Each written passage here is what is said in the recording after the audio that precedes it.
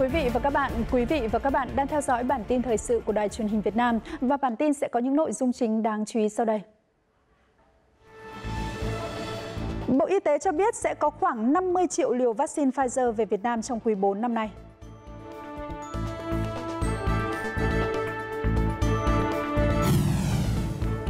Nhiều chốt kiểm soát dịch ở Hà Nội liên tục trực xuyên đêm để đảm bảo việc người dân chấp hành đúng quy định giúp đẩy lùi dịch bệnh.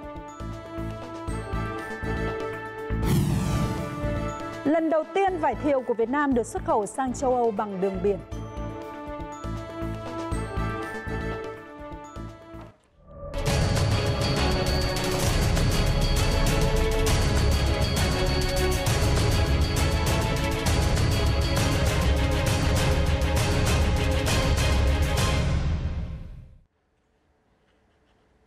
Mở đầu sẽ là những thông tin cập nhật liên quan đến tình hình COVID-19. Dự kiến sẽ có khoảng 47 cho đến 50 triệu liều vaccine Pfizer sẽ về đến Việt Nam trong quý 4 năm nay. Thông tin từ cuộc họp trực tuyến phòng chống dịch COVID-19 của Bộ Y tế vào ngày 2 tháng 8. Hiện vaccine Pfizer đã về Việt Nam hơn 420.000 liều. Vaccine này cũng được Bộ Y tế cho phép dùng tiêm mũi 2 cho người đã tiêm mũi 1 là vaccine AstraZeneca nếu nguồn cung khan hiếm và theo lựa chọn của người được tiêm. Đến nay, Việt Nam đã tiếp nhận hơn 17 7,6 triệu liều vaccine COVID-19 từ các hãng AstraZeneca, Pfizer, Moderna, Sputnik V, Sinopharm. Cũng trong ngày hôm qua, Việt Nam đã tiếp nhận thêm hơn 1,1 triệu liều vaccine AstraZeneca từ cơ, cơ chế COVAX. Bộ Y tế cho biết là đã quyết định phân bổ cho thành phố Hồ Chí Minh thêm hơn 660.000 liều vaccine AstraZeneca. Cũng trong ngày hôm qua, Bộ Y tế đã có văn bản hỏa tốc đề nghị các địa phương tổ chức tiêm chủng cho tất cả những trường hợp từ 18 tuổi trở lên. Hình thức tổ chức tiêm chủng cho địa phương quyết định phù hợp với tình hình dịch bệnh và coi công tác tiêm chủng là nhiệm vụ ưu tiên cấp bách. Thông tin về công tác tiêm chủng sẽ có trong cụm tin vắn sau đây. Bộ Y tế khẳng định sẽ điều chuyển vaccine đi nơi khác nếu kết quả tiêm tại các đơn vị, địa phương đạt tỷ lệ thấp đối với từng đợt phân bổ. Hiện nay, vẫn còn một số địa phương, đơn vị chậm chế triển khai tiêm vaccine. Vì vậy, Bộ Y tế yêu cầu tăng tốc độ tiêm chủng. Kết quả tiêm hàng ngày sẽ được tổng hợp bằng công nghệ, công khai trên cổng thông tin chiến dịch tiêm chủng. Ngoài ra, việc tiêm chủng phải đảm bảo bình đẳng, công khai, minh bạch, đúng đối tượng. Bộ Y tế quyết định phân bổ 63 xe chuyên dụng phục vụ tiêm chủng lưu động cho các cơ sở y tế trong cả nước. Có 8 điểm tiếp nhận xe ở Thái Nguyên, Phú Thọ, Hà Nội, Hải Phòng, Nghệ An, Đà Nẵng, Thành phố Hồ Chí Minh và Cần Thơ. Xe lưu động là xe chuyên dụng, có bình thở oxy, thuốc chống sốc, thuốc huyết áp. Mỗi xe có 6 người, gồm 3 bác sĩ đo huyết áp và theo dõi sau tiêm, hai điều dưỡng tiêm vaccine và một tài xế. Những công nhân ở lại Bình Dương sẽ được tiêm vaccine, hỗ trợ tiền nhà trọ và nhu yếu phẩm, không phân biệt hộ khẩu. Khẳng định của Liên đoàn Lao động tỉnh Bình Dương hôm qua. Đến nay, Liên đoàn Lao động tỉnh Bình Dương đã hỗ trợ được hơn 6.200 công nhân, người lao động bị ảnh hưởng bởi dịch. Tổng số tiền hỗ trợ là trên 10 tỷ đồng. Ngoài ra còn vận động, trao tặng cho công nhân, người lao động trên 31 tấn nhu yếu phẩm. Vào tối ngày hôm qua, chuyến tàu đặc biệt mang theo hàng trăm máy móc thiết bị y tế hiện đại cùng quà chi viện đã đến thành phố Hồ Chí Minh. Đây là những thiết bị, vật tư y tế hiện đại được chuyển từ Trung tâm hồi sức tích cực tỉnh Bắc Giang. Chuyến tàu lăn bánh vào sáng ngày hôm qua từ ga Hà Nội và sau hơn một ngày đã đến ga Sài Gòn để kịp phục vụ bệnh nhân. Phóng viên Tuyết Nhung đã có mặt tại ga Sài Gòn vào tối ngày hôm qua sẽ thông tin chi tiết. Đoàn tàu chở trang thiết bị y tế số hiệu SE7 khởi hành từ Hà Nội vừa vào tới ga Sài Gòn lúc 8 giờ tối ngày 2 tháng 8 à, để kịp thời phục vụ bệnh nhân Covid tại thành phố Hồ Chí Minh và các tỉnh phía Nam. Đây là những trang thiết bị hồi sức tích cực hiện đại nhất miền Bắc được vận chuyển vào đây, sau đó sẽ di chuyển lắp đặt tại bệnh viện Giã chiến số 16 quận 7 thành phố Hồ Chí Minh. Chuyến hàng này gồm 20 máy thở chức năng cao, 15 máy thở oxy dòng cao, máy theo dõi bệnh nhân, máy lọc thận, truyền dịch, monitor, đây là những thiết bị cực kỳ quan trọng được chuyển vào kịp thời giúp cứu chữa các bệnh nhân mắc Covid-19. Toàn bộ số thiết bị này do bệnh viện Bạch Mai chủ trì tại thành phố Hồ Chí Minh có khả năng thu dung 3.000 bệnh nhân, trong đó có 500 bệnh nhân hồi sức. Bên cạnh đó rất nhiều phần quà là đồ bảo hộ y tế, đồ ăn thức uống cũng được gửi vào thành phố Hồ Chí Minh. Với mong muốn chung tay cùng cả nước hướng về miền Nam, Bộ Y tế cũng đã huy động tổng lực các bệnh viện trung ương, cử cán bộ vào thành phố Hồ Chí Minh và các tỉnh thành phía Nam, cùng với việc tổ chức chạy các đoàn tàu chuyên biệt đưa người từ thành phố Hồ Chí Minh và các tỉnh thành phía Nam về quê, ngành đường sắt sẽ vận chuyển miễn phí các đoàn y bác sĩ, trang thiết bị y tế vào các tỉnh phía Nam tham gia hỗ trợ chống dịch. Không được từ chối bất kỳ bệnh nhân cấp cứu nào chuyển đến, đặc biệt là các ca F0 COVID-19. Đây là yêu cầu của Ủy ban nhân dân thành phố Hồ Chí Minh đối với các bệnh viện trên địa bàn thành phố. Ủy ban nhân dân thành phố Hồ Chí Minh yêu cầu các bệnh viện không được từ chối bất kỳ bệnh nhân cấp cứu nào chuyển đến, đặc biệt là các ca F0 COVID-19, kể cả các bệnh nhân trái tuyến, trái chuyên khoa thì các bệnh viện vẫn phải tiếp nhận và xử lý cấp cứu ban đầu. Thành phố yêu cầu tất cả các bệnh viện đảm bảo quy chế thường trực các cấp lãnh đạo chuyên môn, hành chính hậu cần, bảo vệ tự vệ, đường dây nóng đảm bảo ứng trực 24 trên 24 để sẵn sàng xử lý các trường hợp khẩn cấp. Ngày 2 tháng 8, thành phố cũng đã quyết định thành lập thêm hai bệnh viện giã chiến điều trị bệnh nhân COVID-19, đó là một phần bệnh viện Từ Dũ và toàn bộ bệnh viện Đa khoa Sài Gòn, tổng cộng 350 giường. Thành phố Đà Nẵng đang khẩn trương tiến hành lấy mẫu xét nghiệm COVID-19 theo diện rộng, đặc biệt tại các khu vực nguy cơ cao, dự kiến khoảng 2.000 mẫu một ngày tại mỗi điểm. Chỉ riêng trong ngày 1 tháng 8, Đà Nẵng đã xét nghiệm cho hơn 53.500 lượt người, còn ngày 2 tháng 8, lực lượng y tế đã lấy mẫu xét nghiệm đại diện hộ gia đình đối với người dân phường An Hải Bắc, quận Sơn Trà. Theo Trung tâm Y tế quận Sơn Trà, tại 4 phường phong tỏa do liên quan đến cảng cá Thọ Quang còn khoảng 28.000 mẫu. Thành phố đang nỗ lực khẩn trương để hoàn thành sớm khoanh vùng nguồn lây. Còn Hà Nội tiếp tục xét nghiệm cho người dân sinh sống tại khu vực quanh các ổ dịch. Tại quận Hai Bà Trưng, dự kiến sẽ có khoảng 30.000 người dân quanh bệnh viện phổi được lấy mẫu xét nghiệm. Thời gian lấy mẫu kéo dài trong 3 ngày, dự kiến từ ngày 3 tháng 8 sẽ bắt đầu trả kết quả. Ưu tiên xét nghiệm trước cho người dân sinh sống tại các khu vực có nguy cơ cao, mật độ đông, nơi có chợ dân sinh, các hộ kinh doanh. Hiện chùm ca bệnh liên quan đến Viện Phổi Hà Nội đã lên đến gần 70 ca. Thưa quý vị, tại Hà Nội những ngày này, các tổ chốt kiểm dịch vẫn ngày đêm hoạt động trên các tuyến phố. Nhiều lực lượng đã cùng tham gia thay ca liên tục tức trực đảm bảo việc người dân chấp hành quy định để sớm đẩy lùi dịch bệnh. Trong số hàng trăm chốt kiểm soát dịch, có những chốt trực 24 trên 24 giờ. Phóng viên của chúng tôi đã có mặt tại một chốt kiểm dịch như vậy để phản ánh công việc của lực lượng tham gia kiểm soát xuyên đêm khi đa số người dân thủ đô đã chìm vào giấc ngủ.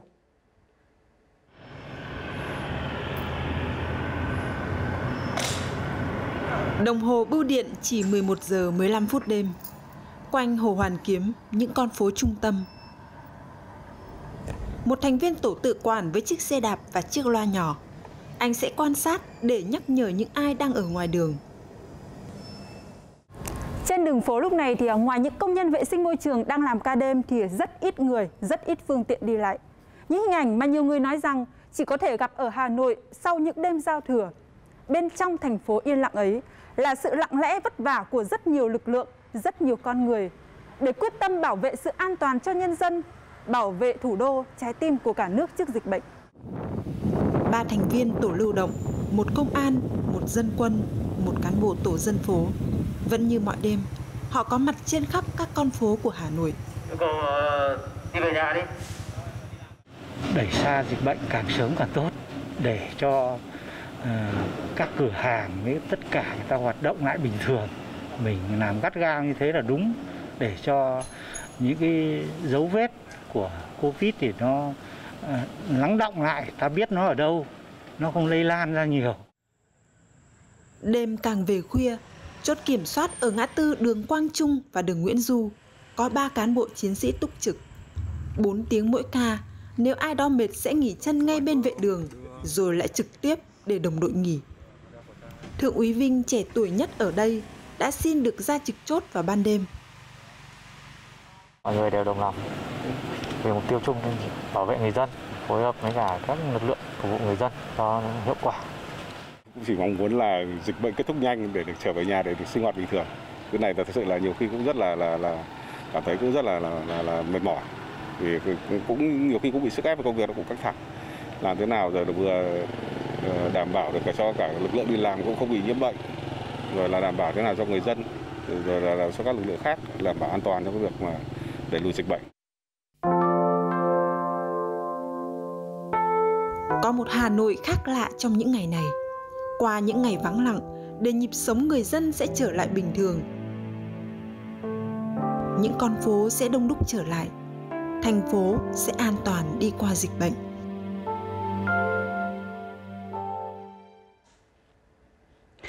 Người dân Hà Nội sẽ chỉ được ra ngoài 7 ngày một lần, hay là việc đi lại của những người có giấy phép đi làm cũng sẽ siết chặt hơn. Đây đều là những tin giả. Những thông tin này đang lan truyền mạnh trên mạng xã hội. Và trong tối ngày 2 tháng 8, Sở Thông tin và Truyền thông Hà Nội đã khẳng định thông tin này hoàn toàn sai sự thật. Tổ chức cá nhân đăng thông tin vi phạm sẽ bị xử lý, đồng thời khuyến cáo người dân cần thận trọng, có kiểm chứng khi sử dụng mạng xã hội để đăng tải thông tin về tình hình dịch bệnh, tự giác chấp hành nghiêm nguyên tắc giãn cách xã hội để bảo vệ bản thân, gia đình và cộng đồng. Thời gian qua trên khắp cả nước đã có nhiều mô hình sáng tạo trong cộng đồng để hỗ trợ người lao động và người dân có hoàn cảnh khó khăn vượt qua dịch bệnh COVID-19 như là trao đổi những phần quà, triển khai cây phát gạo miễn phí hay là siêu thị không đồng. Và giờ đây chúng ta còn có thêm rất nhiều những vườn rau không đồng nữa. Dù bỏ ra bao công sức vất vả để chăm sóc những mảnh vườn, thế nhưng những nông dân ở tỉnh Ninh Thuận đã quyết định bán với giá không đồng để phục vụ những khu vực bị phong tỏa, cách ly vì dịch COVID-19. Hôm nay là ngày thu hoạch ổi của gia đình chị Sang. Thế nhưng khác với nhiều lần khác, chị quyết định bán với giá không đồng. Người mua ổi là những tình nguyện viên chuyên góp nhu yếu phẩm hỗ trợ cho tuyến đầu chống dịch. Những trái ổi ngon nhất đã được lựa chọn và 700 kg ổi như thế này sẽ đều đặn đến với các khu cách ly, khu vực phong tỏa trên địa bàn tỉnh Ninh Thuận trong nhiều ngày. Người ta vô cho bà con trong đó người ta không đi chợ được, những cái chỗ ta không làm ra tiền nữa thì mình tặng vô đó cho người ta tiêu dùng. Sự sẻ chia xuất phát từ những suy nghĩ đơn giản là đồng cảm những khó khăn mà chính những nông dân chị Sang cảm nhận. Tặng cái này cho người ta tiêu dùng được thì mình thấy vui. Chứ như mình đây mình cũng đâu có làm ra tiền đâu mà để mình đi chợ. Như mấy bữa giờ ở nhà hết cả nhà đâu có ai làm ra tiền đâu.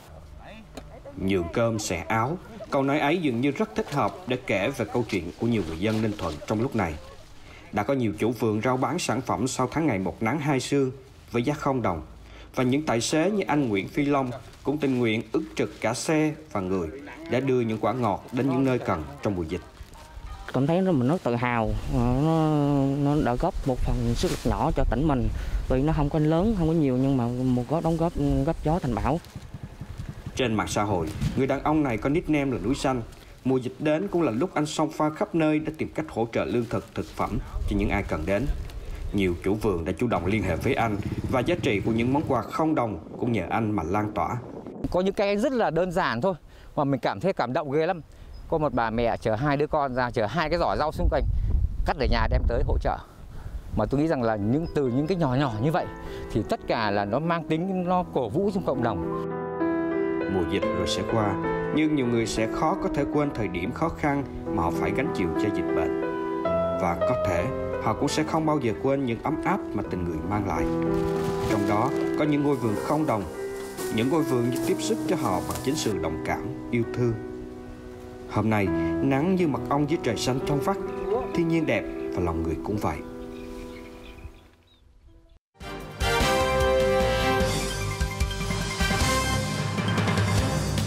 Chuyển sang phần điểm báo trong nước và quốc tế.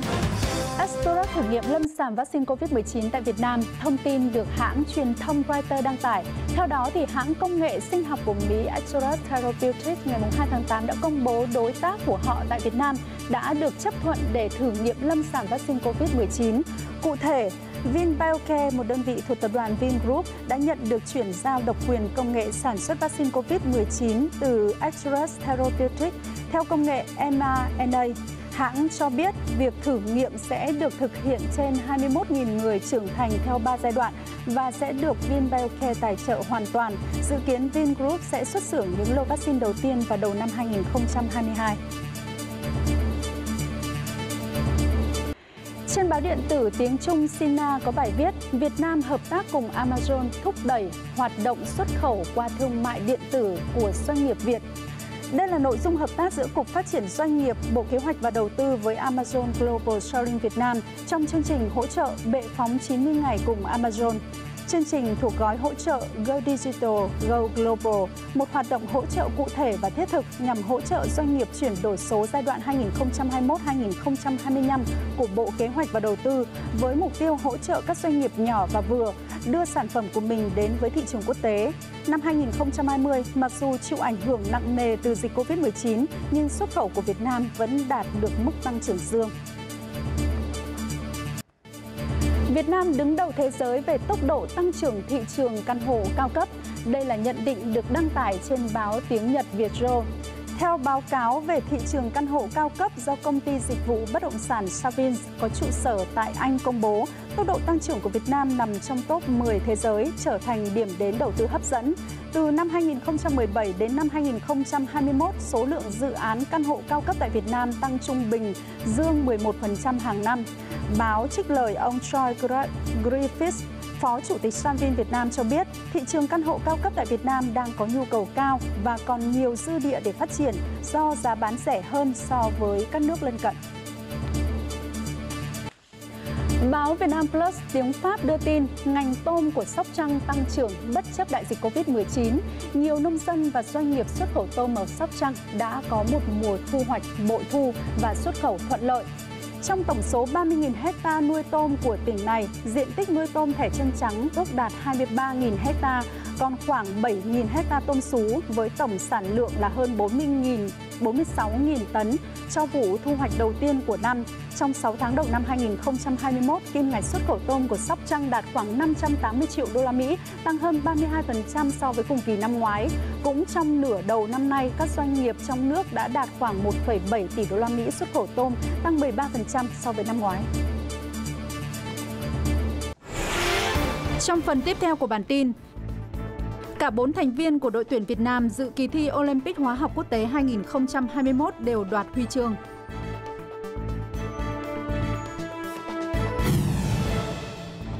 Lần đầu tiên quả vải thiều của Việt Nam được xuất khẩu sang châu Âu bằng đường biển.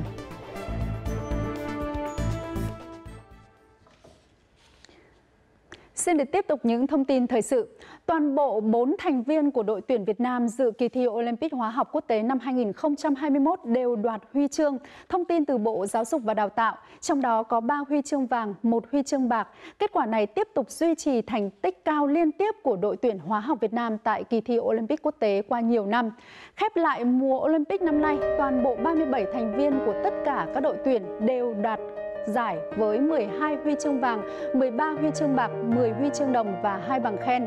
Trong bối cảnh dịch Covid-19 khiến việc học tập liên tục bị gián đoạn trong hơn một năm qua, kết quả này cho thấy sự cố gắng vượt bậc trong học tập, rèn luyện của các học sinh, giáo viên và các nhà trường.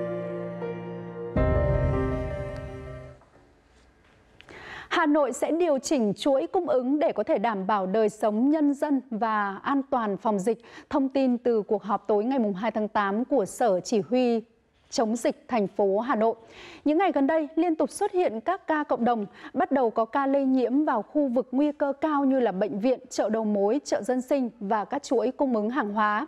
Chủ tịch Ủy ban nhân dân thành phố đã yêu cầu Sở Công Thương, các quận, huyện phải có ngay phương án để đảm bảo nguồn cung hàng hóa, vận chuyển với từng địa bàn, kiểm tra, đảm bảo an toàn cho hệ thống chợ, siêu thị, đẩy nhanh việc giả soát hỗ trợ người yếu thế khó khăn do ảnh hưởng của dịch COVID-19. Thưa quý vị, chế biến bảo quản là hai khâu thiết yếu để nông sản có thể mang lại giá trị cao hơn, vươn tới những thị trường xa hơn. Đặc biệt là hiện nay, nhiều loại nông sản chủ lực đang vào chính vụ thu hoạch như là thanh long, xoài, khoai lang hay là các mặt hàng khác như nhãn, dưa hấu, chuối cũng vào mùa nên cần phải giải pháp hỗ trợ để có thể tiêu thụ kịp thời cho nông dân. Ở đồng bằng sông Cửu Long những năm gần đây, việc bảo quản sau thu hoạch, nâng hạn sử dụng cho rau củ quả tươi như là một cuộc chạy đua để có thể đáp ứng được nhu cầu của thị trường. Và thực tế thì chế biến, bảo quản nông sản cũng là lĩnh vực đang được Bộ Nông nghiệp và Phát triển Nông thôn khuyến khích để hỗ trợ chuẩn bị tốt nhất phương án cả trong và hậu dịch COVID-19 cho thị trường xuất khẩu chủ lực là Trung Quốc, châu Âu và Mỹ. Đây là hệ thống bảo quản nông sản đầu tiên tại Việt Nam dùng công nghệ điều chỉnh khí. Ví dụ như tỷ lệ oxy sẽ xuống thấp đến giới hạn, nông sản giảm thiểu hô hấp, giúp bảo quản trái cây lâu hơn từ 2 đến 4 lần so với các phương pháp khác. Trên hết là nó còn được vận hành hoàn toàn bằng hệ thống robot thì toàn bộ mọi cái thao tác trong này lưu trữ vận chuyển và truy xuất đều tự động qua phần mềm nó giúp cho là à, cái cái hoạt động bảo quản nó luôn luôn ổn định và từ đây đã có các đơn vị logistics nhìn ra cơ hội liên kết để đưa nông sản đến với toàn cầu với giá cạnh tranh. Trong đó có ACG, hãng chuyên cung ứng dịch vụ vận chuyển hàng hóa hàng không. Dự kiến các chuyến hàng từ kho này sẽ được hãng ưu đãi với mức giá 30%. Còn đây là trung tâm logistics nông sản đầu tiên của tỉnh Hậu Giang và dự kiến phát triển quy mô cấp vùng. Nông sản tại đây sẽ được lựa rửa, phân loại, đóng gói, chiếu xạ và bảo quản trong kho mát với nhiệt độ thích hợp. Xoài có thể giữ được 90 ngày thay vì 5 đến 7 ngày như trước đây. Giai đoạn sắp tới của dự án sẽ hình thành chợ nông sản xuất khẩu.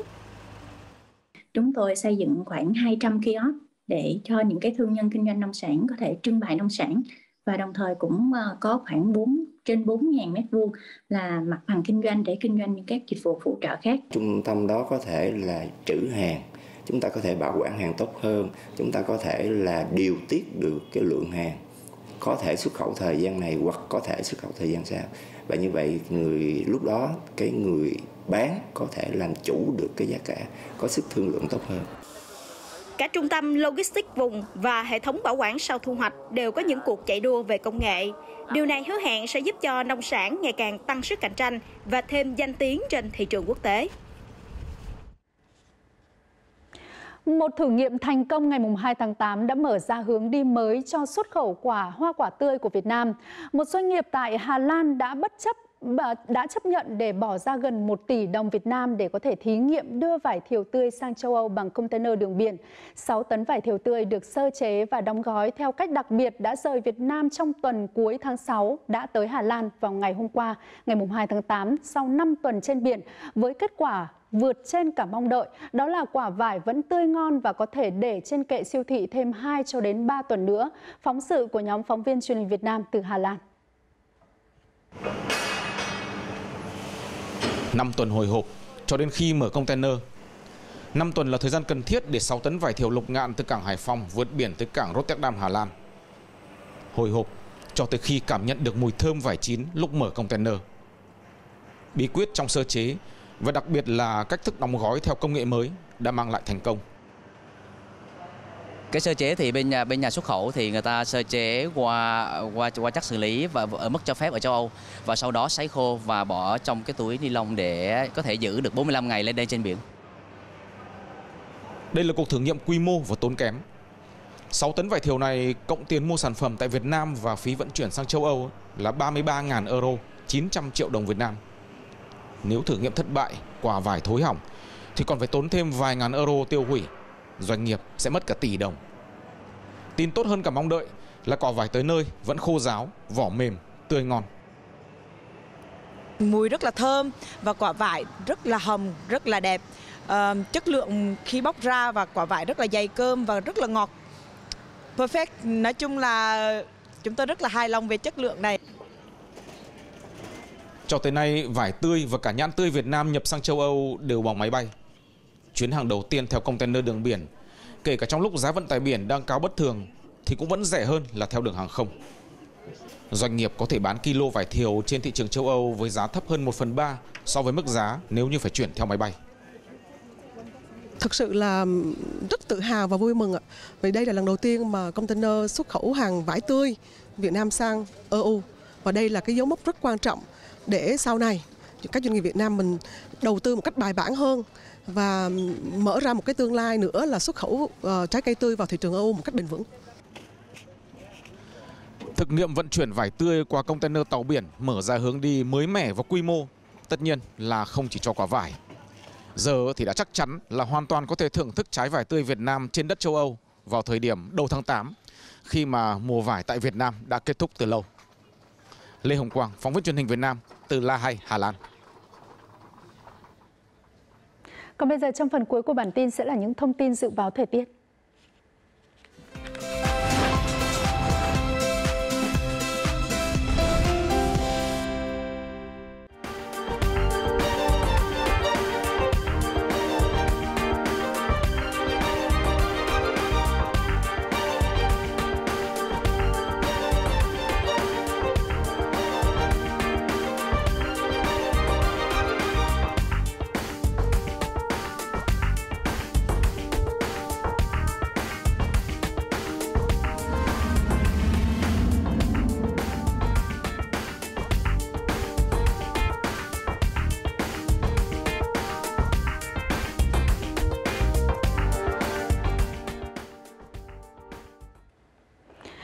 Đây thì bản tin thời sự của chúng tôi cũng xin được kết thúc. Để xem trực tuyến kênh VTV4, quý vị và các bạn có thể truy cập vào địa chỉ đang hiển thị trên màn hình hoặc tải ứng dụng VTV Go về điện thoại từ kho dụng App Store hoặc Google Play. Xin cảm ơn và kính chào tạm biệt.